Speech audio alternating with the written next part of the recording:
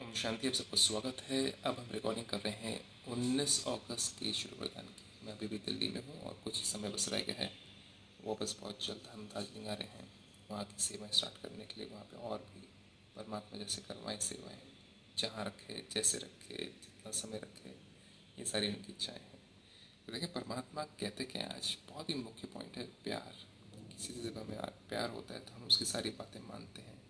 और उन बातों पे चलते हैं। यही निशानी होती है कि हम परमात्मा से कितना प्यार करते हैं। चाहे वो खान पान हो, चाहे रहन सहन हो, चाहे उठना बैठना हो, चाहे सोचना हो, हर चीज़ परमात्मा के अनुसार अगर हम कर रहे हैं, इसका मतलब हमारा परमात्मा में फेथ है और उनसे प्यार बहुत है। तो देखें, परमात्मा कहते हैं आज के वरदान में?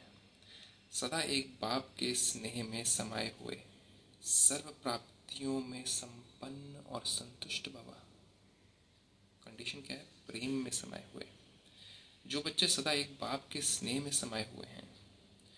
बाप उनसे जुदा नहीं है और वे बाप से जुदा नहीं। देखिए, परमात्मा ने कह दिया कि मैं प्यार का सागर हूँ। मुझसे अगर जुड़ना है तो बुद्धि से नहीं जुड़ना है। मुझसे अगर जुड़ना है तो प्यार से जुड़ना है और मेरी सारी रचना से प्यार करो। अगर परमात्मा से प्यार है तो सारी रचना से प्यार है। नहीं तो अपने आप से ही प्यार है और सेल्फिशनेस है। तो परमात्मा हमें उस सेल्फिशनेस और स्व के ही प्यार से बियॉन्ड लेके जा रहे हैं इन्फिनिटी में लेके जा रहे हैं, बेहद में लेके जा रहे हैं।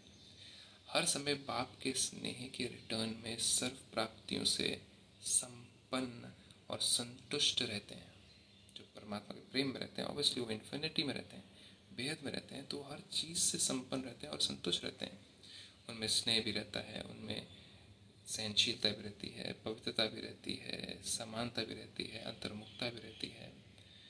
और वो निडर रहते हैं निर्भय रहते हैं, बहुत कुछ होते हैं इनके अंदर क्वालिटीज़ इसलिए उन्हें और किसी भी प्रकार का सहारा आकर्षित नहीं कर सकता कि कोई व्यक्ति मिल जाए, कोई वस्तु मिल जाए, धन मिल जाए, चीज़ें मिल जाएँ और पाँच तत्वों की चीज़ें मिल जाए, तब मैं खुश हूँ। धन मिल जाए, तब मैं संतुष्ट हूँ। व्यक्ति मिले, तब मुझे प्यार मिले। नहीं, उन चीज़ों पर डिपेंडेंट नहीं है। स्नेह में समाई हुई आत्माएँ सदा सर्व प्राप्ति संपन्न होने के कारण सहज ही एक बाप दूसरा ना कोई। मुझे और किसी का सपोर्ट नहीं चाहिए, बस एक बाप मिल गया सब कुछ मिल गया एक इन्फिनिटी एनर्जी मिल गई, चाहे इनको इन्फिनाइट एनर्जी बोलो, चाहे इनको सोर्स एनर्जी बोलो, चाहे इनको क्वांटम एनर्जी बोलो, आज साइंस क्या क्या बोल रही है? गॉड पार्टिकल बोलते हैं पार्टिकल नहीं है। पार्टिकल मतलब कि एटम एटम के अलावा एक आत्मा भी होती है। हम आत्मा की बात करें, वो गॉड पार्टिकल नहीं है, वो गॉड आत्मा है। तो बाप दूसरा ना कोई। इस अनुभूति में रहते हैं। उनको ये एक्सपीरियंस हमेशा रहता है कि मुझे बस एक ही पे भरोसा है, एक ही से सपोर्ट लेना है मुझे। और उनके द्वारा जो जो वो मुझे मिलाएँ, जिन जिन लोगों से मिलाएँ, जिन जिन परिस्थितियों में मुझे रखें, वो सब कुछ उनके ही द्वारा हो रहा है और वो सब कुछ अच्छा है, उसमें भला है मेरा। समाई हुई आत्माओं के लिए एक बाप ही संसार है। किसमें समाई हुई? अब भक्ति में कहते हैं कि हम भगवान के अंदर घुस जाएँगे। हम शरीर छोड़ के जाएँगे। भगवान के अंदर घुस जाएँगे और हमारे अंदर भगवान है। पहली बात, या तो हम किसी के प्यार में समाये हो जाते हैं। ये इंसान तो उसके पास ख्वाबों में डूब गया है, डूब गए।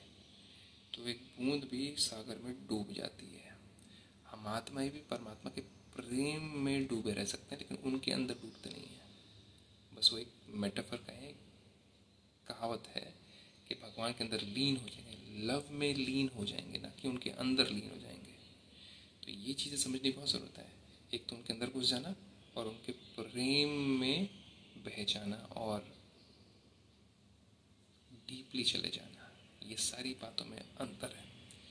इसको आप समझें गहराई से आकर ब्रह्मा कुमारी इसमें और कैसे वो भौतिक शक्ति के साथ में हम कैसे मिलन करें, प्रेम में उनके रहें, ताकि हमारे सारे चक्र क्लीन हों हमारी सोच क्लीन हो भविष्य साफ़ हो और उज्जवल हो। ये सब कुछ ब्रह्मा कुमारी इसमें सिखाया जाता है। इसके साथ ओम शांति।